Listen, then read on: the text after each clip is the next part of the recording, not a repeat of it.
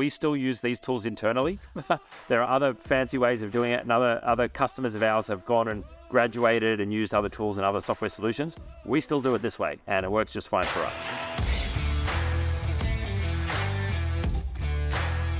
This is the Ultimate Systems Toolkit, and this is the simplest way that we can document everything and make it really, really, really effective for our team. Now, there are other tools available, and I'll show you couple of other tools as other alternatives, but this is basically what we teach as the most bare bones and free, by the way. All of these are free options, so you don't get slugged with another monthly cost per person. This is the most basic way to do it. And let me tell you, we still use these tools internally.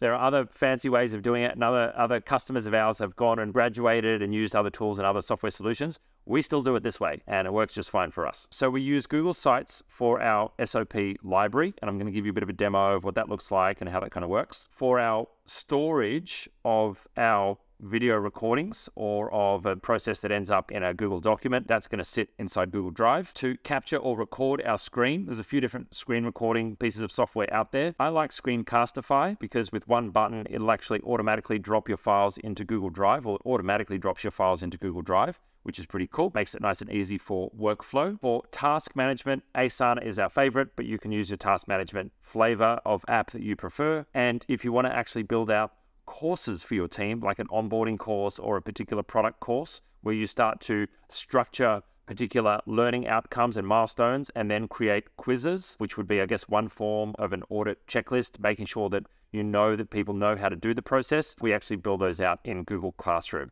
And what we're going to do is I'm going to show you how to use all of these and how to then bring them all together and then we're going to start building them out together. Let's have a look at what it actually looks like. So we bring things together into our library. This is Google Sites, and this is basically where we document everything. Now, this is effectively a digital version of a standard operating procedures manual. Remember right back at the very start, I said that, you know, if you go and work in a large corporate, this is what's going to be on the shelf, all the systems and processes that no one ever uses.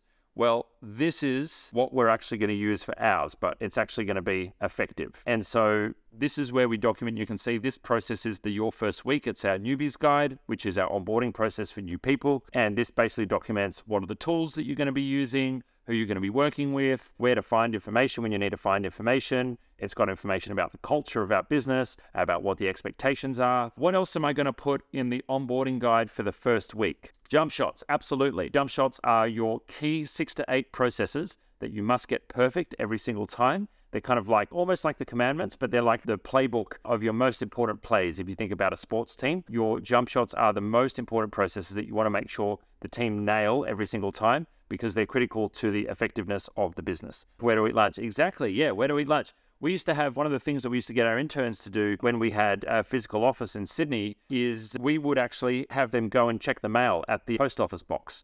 And we used to have a screenshot of how to walk along Google Maps and how to find the post office because the first thing people would ask is like, well, you know, where's the post office and how do I get there? So we actually had a screenshot of Google Maps, the little walking guide, and we'd drop that in there. Next is Google Drive. This is where we're going to store our videos as we record them and we create them for the team and any documents that are created as well. So you can see here I've got a team training drive and that team training drive is where we're going to put all of the recordings. We're going to drop them in there and then we're going to embed them.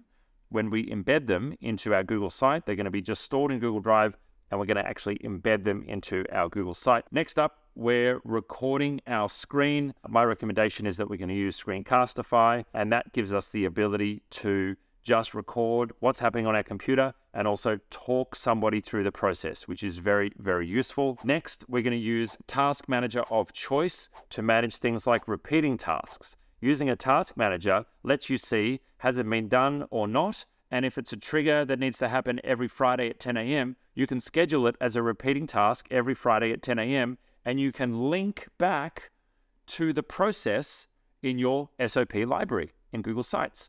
So each Google Sites page has a URL, and we can actually take that URL and we can pop it into the description of the task, and then we just set the task as a repeating task. If you want to get started with that, then our team will happily help you get started. It's free for the first 15 people, but if you do find that you want to upgrade to some of the more premium features, like you can set up rules and automations and all those kind of things, we'd really love it if you buy your licenses through us And sometimes we can help with things like discounts as well. And so you can start to see how we are building out a business system for our systems and processes to be followed by our team. Finally, if we want to build out individual structured learning, we will use Google Classroom for that. And this is a free tool. It's now built into Google Workspace, which is pretty cool. And so Google Classroom is where we store structured training where we want to make sure that the team understand it and know it because we can create things like quizzes. They have to turn in homework, and that's really, really useful. So, this is what a course looks like when our support team member comes on board and they have to start supporting DNS for customers. This is our DNS course. So you can see there's a number of training sessions. Watch this video.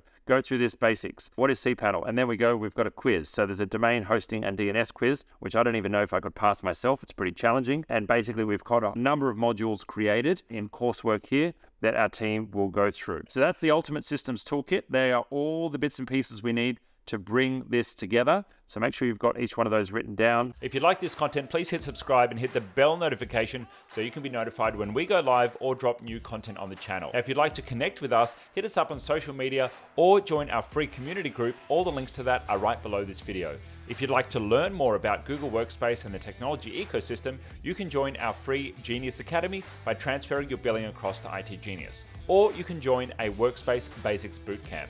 Now, if you're a business owner and you're interested in an audit on your technology stack or your workspace account, or you're looking to do a project in the tech world, well, you can take advantage of our free consultation. And if you need help right now, then consider joining Concierge or taking up a quick fix with our team for professional support for your tech stack.